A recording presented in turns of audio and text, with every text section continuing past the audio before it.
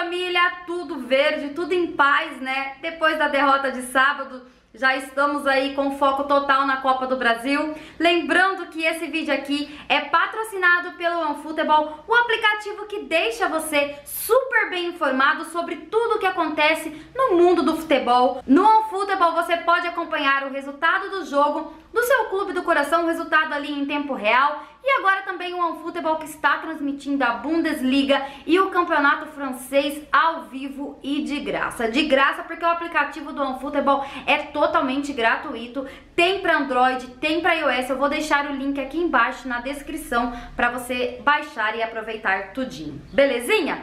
Então já que você chegou até aqui, deixa o like, se inscreva no canal, ativa o sino de notificação porque provavelmente hoje eu trago mais informações do Palmeiras para vocês mais tarde, tá bom? E já vamos falar aqui dos assuntos que interessam, né? É recorde no Allianz Parque e eu queria comentar isso porque eu acho muito importante e também aí sobre o que estão fazendo com o Abel. Vamos começar sobre o recorde no Allianz Parque, né? O Palmeiras que pode bater um novo recorde aí se, né, o Palmeiras continuar sem tomar gols em casa.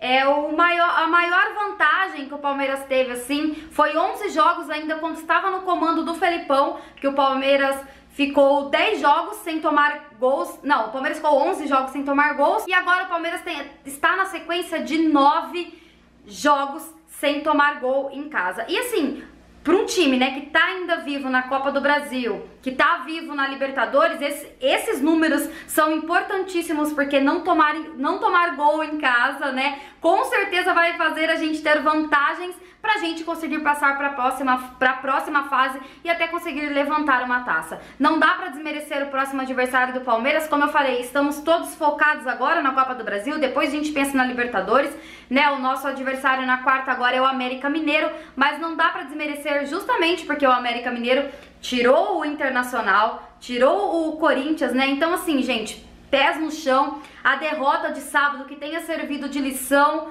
pro, pro time do Palmeiras, né? Até pra torcida mesmo que estava empolgada, eu me incluo nisso também. Igual o Abel falou, a gente não ganhou, né? Eu ia falar um palavrão aqui, mas não pode. Nada ainda, a gente não ganhou nada. Então, temos que manter, nós temos que se manter focados até o Palmeiras conseguir levantar uma taça, né? Lógico que a gente quer que o Palmeiras vença, a gente quer que o Palmeiras continue nessa sequência de vitórias, de goleadas, mas Vamos manter a calma. Também o jogo não foi para aquela derrota também não foi para acabar o mundo. É lógico que o Campeonato Brasileiro fica um pouco mais distante. O sonho, né? Mas igual o Abel falou na entrevista coletiva, vamos continuar lutando. Não acabou. É inclusive sobre o Abel que eu queria falar, porque é muito injusto o que estão fazendo com ele. É, eu fiquei bem chateada quando eu vi o que a imprensa estava falando, né? Retorcendo aí uma fala do Abel, inclusive era para ter gravado esse vídeo ontem, mas eu não consegui, então isso que eu estou fazendo agora de manhã. É o Abel, né? Ele deu uma entrevista coletiva, assim, como ele faz todas as vezes, como todos os técnicos fazem após o jogo. E ele falou que o elenco do Palmeiras é extremamente reduzido, né? Que o problema não é campeonatos, e sim o Palmeiras né, ser é, o elenco do Palmeiras ser extremamente reduzido por conta de tudo que aconteceu, tinha dificuldades para colocar jogadores ali no meio com tantas lesões. Ele citou o Felipe Melo, ele citou a saída do Ramires e tudo mais. E aí retorceram o que ele falou e fizeram uma comparação com o Luxemburgo.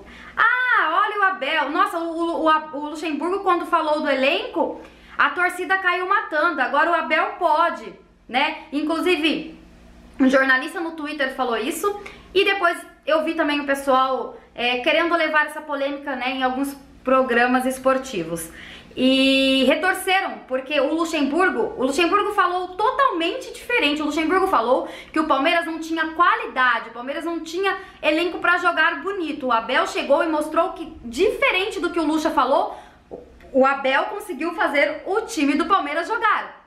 Né? E jogar bonito e fazer goleadas. Então, assim, não tem nada a ver a fala de um com a fala de outro. O Abel não estava reclamando do elenco do Palmeiras, nem dizendo que o elenco do Palmeiras não tem qualidade o Abel estava questionando e falando que o, o elenco do Palmeiras é extremamente reduzido, é curto. E a gente sabe disso, até porque no começo do ano a torcida estava pedindo contratações. Nós sabíamos, né, que teríamos problemas lá na frente. Ainda bem que tem os meninos da base que estão ajudando aqui. Mas a gente não contava também que Felipe Melo fosse ficar tanto tempo longe, que o Wesley ia sofrer uma lesão dessa e não ia mais voltar agora nesse ano. O Luiz Adriano ia se machucar constantemente, fora outros jogadores que tomam cartões, também teve, né, um surto aí de Covid. O Abel, ele não teve ainda o elenco do Palmeiras ali completo para ele colocar à disposição dele. Quando não era uma coisa, era outra. Quando não era convocação, era lesão. Quando não era lesão, era cartão, que o jogador estava fora. Quando não era cartão, foi, né, como eu falei, mais de 20 jogadores aí de uma vez com o Covid. Então, o Abel, para mim, ele fez milagre. Aí a imprensa espera uma derrota, espera uma fala que não tem nada a ver uma coisa com a outra, para já questionar o trabalho que ele está fazendo no Palmeiras. Ah, será que era só começo? Será que era só empolgação ali? Gente, muita calma, não abraça, tá? Não vamos abraçar aí o que a imprensa vem falando, não. Vamos se manter firmes, vamos continuar dando o respaldo aí pro Abel, que tá se mostrando um ótimo profissional, gente. Estou sonhando muito com as taças que o Palmeiras pode buscar. É, Copa do Brasil, Libertadores aí, quem sabe até mesmo Mundial. Então, calma, né? Vamos esperar um tempo pra gente depois tirar é, o parâmetro de algo. Mas por enquanto o Abel vem fazendo um bom trabalho. Então, cuidado com o que vocês escutam. Se vocês verem a imprensa colocando é, e falando algo que, que não saiu da boca do Abel ou que vocês duvidam, né? Ah, duvidei que o Abel falou isso.